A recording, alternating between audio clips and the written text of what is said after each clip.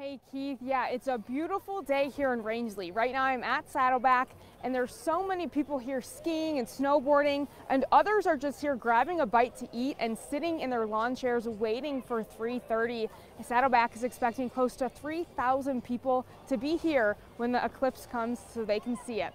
On the drive here this morning, Rangeley's downtown was packed. This video was from 11 o'clock this morning when people were just arriving in town. People were already waiting in lines for restaurants to open up. Others were marking their territory so they had a good spot to watch the eclipse. Across town here at Saddleback, 2,000 skiers are hitting the slopes and another few hundred are here just to take it all in.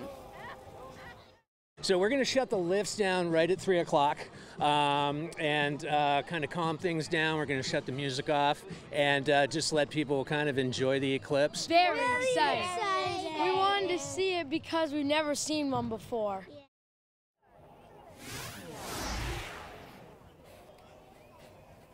So the lift will shut down at 3 o'clock, but skiers can make their way up the mountain a little earlier so they can watch the eclipse from the top of the mountain. But for those of us that don't have skis on, it's a pretty good view from down here anyway. But people are just uh, really excited and now it's less than an hour away.